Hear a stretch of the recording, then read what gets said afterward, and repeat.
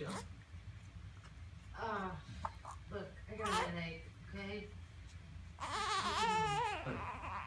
We had a date.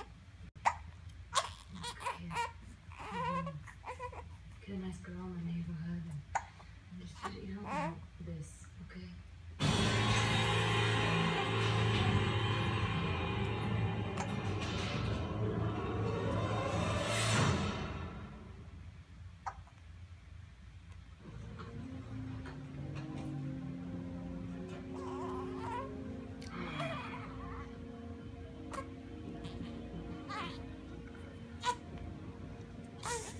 Look, Jack, I hate to be uh, overbearing and overprotective, but can you hurry your ass up, please, and get down there so I can get home?